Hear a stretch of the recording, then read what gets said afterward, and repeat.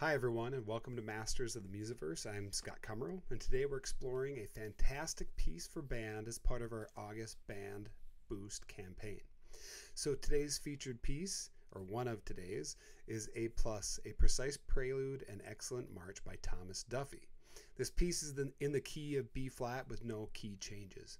One of the most rhythmically challenging aspects of the eighth note uh, and 16th note combinations, along with dotted quarter notes because they always seem to trip up some students. The form of the piece is really interesting uh, if you don't know it. It starts out with a uh, what kind of sounds like a band warm up, almost like you walked into the band room and we were getting ready for rehearsal. It's very aleatoric in nature. Um, there's a lot of freedom. It's kind of fun to play with um, with the students. And to be honest, sometimes I've actually cut this part out and just jumped right into the march. The march is simple and fun, very neat, clean, uh, very precise. And the more perfect you make that march, the more fun the last part of the piece is because Thomas Duffy wrote this piece to highlight how important perfection in music is, even at a young age. And so in the in the second playing of the march, you ask the students to make one error. And let me tell you, after you've perfected the march in class, experimenting with errors is so much fun. Talking about the need for perfection and, and using different examples of like what is it what gets you an a in class? Does 93% get you an a? Uh, what does it sound like if you only play this 93% correctly?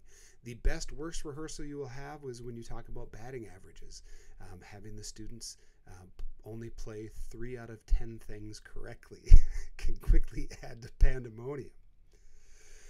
So th- it's a really fun fun way to highlight this. Um, it's really playable and i've done this with every age group. I've done this with an auditioned high performing high school ensemble um, and i've used this in the middle school as well um, and everything in between it's it's just a really really fun piece and so i really encourage you to take a moment listen to the piece if you can listen to it with the score in fact if i can find a link to that i will include it in uh, in the comments below um, so I'd love to hear your thoughts as my, my closing here on this YouTube short. Have you played this piece before?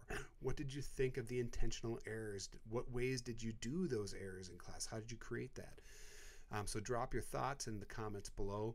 And if you know any pieces similar to this one, um, or if you've ever used another piece, because you could certainly do that. You could take another piece of music and just add your own errors to it. So don't forget to like, comment, and subscribe to Masters of the Musiverse for more great content.